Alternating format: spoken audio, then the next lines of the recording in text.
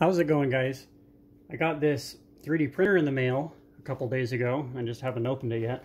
Um, this is a Kingroon from Amazon um, and I found some of the same ones actually in other places online but this is 3D printer number six for me. I have a 3D printing business. Um, I just sell stuff on eBay and Etsy and um, Amazon and then my own little website that I have as well. Um, but this is, I do already have a King Kingroon 3D printer. This is the KP3, I think is what they call it. Um, that's the model number. And I just want to do a quick unboxing video to show you all what's inside. So let's get to it.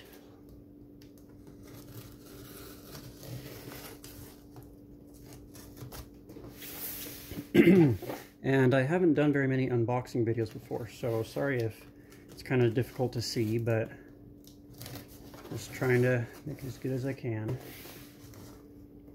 I just put some tape on there myself for uh, to block my address. There we go. I got this one on sale actually on Amazon. It was 20 bucks off. So I think I got it for 150 something. So there we are. First look inside the box. I think I mentioned I already have one of these Kingroons. Um, and it's done really well for me. I uh, I've put it through a lot of a lot of stress. I've printed um, a lot of materials on it.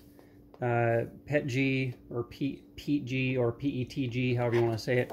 I've done ABS, PLA, all different colors. I've put hundreds and hundreds of hours into it. Um, and it's done really well. Still performing. Needs a little tune-up once in a while, but it's not bad and it's extremely easy to set up. So there's just the instruction manual. And it's, it's uh, helpful to figure out how to set it up for the first time. So there's that. And here, oh nice, there's a bright blue color um, PLA filament. So they just give you a tiny bit of filament just for testing purposes. Here's some tools. And let's see, looks like a bunch of stuff is different colors from the first one that I got. So you'll need these to assemble, to uh, just assemble it. I think there's three or four screws you have to put together. And then you get this um, it's a micro SD card, 16 gig, I think, uh, with an adapter, and that has some files and the software on it for you. And It also includes this, um, some wire clippers, not wire clippers, some filament clippers. It's for uh, basically just, I, at least I use it to um, clip the end of the filament so it'll go into it easily.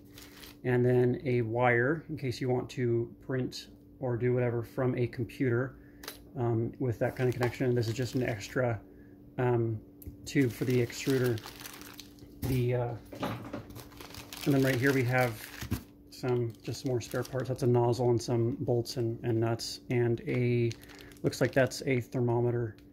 I think is I don't know what you actually call it if there if it's called something different for 3D printers, but um, it measures the temperature in the hot end.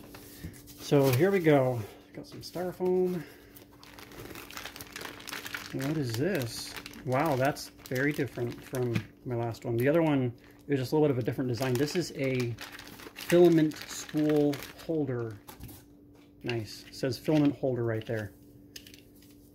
So I'll show you in a different video how it works, but basically you just, it sits like this and you have your, I've actually wanted to make some of these myself. Um, I just didn't have any uh, ball bearings, but there's that. So it the filament spool sits on here and then it rolls as the filament is pulled from the printer.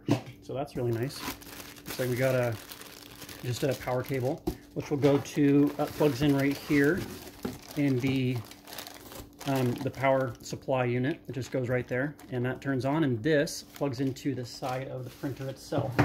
So let's get that out now. a little more styrofoam here. chuck it over there. This is, um, it just shows you how to do the auto leveling feature. I guess it's not entirely automatic, but it's uh, really helpful because I've done it entirely manually and that's not super fun. So this paper is helpful because it says probably somewhere, oh yeah, the distance can be measured by the paper of 0.1 millimeter thickness like this one. So this is kind of a thicker, almost cardstock piece of paper. So you'll want to keep that for leveling. It helps, helps with that. And there is the brand new printer. And I guess I'll just, just turn it a little bit. Um, let's see, let's take out the top first. So this comes in two main parts. There we go. That's nice and shiny and new, wow. Haven't seen mine that new in, well, I guess since I got it. Looks like we got a couple of loose nuts in here. So now I got that one kind of out. I'll set that back down carefully and get this piece loose. It's in here nice and tight. Okay, there we go. I'll pick both of those up. Sit them down over here. Push that out of the way. There we go. Well, I wasn't sure if this was going to happen this time, as it did last time, um, where I just had a few extra uh, nuts and screws sitting around in the package. Not quite sure how that happens, but anyway, whatever. It works perfectly fine, and I guess this this fell off um, from the leveling thing. I'll go ahead and push this out here and uh, it just screws back on right here so that's not bad either. But that's basically it. And the way this will be assembled I'll make a different video for that is that basically you want let's see here. You want it to be this way if you can see that fine. Like I said sorry if it's difficult to see.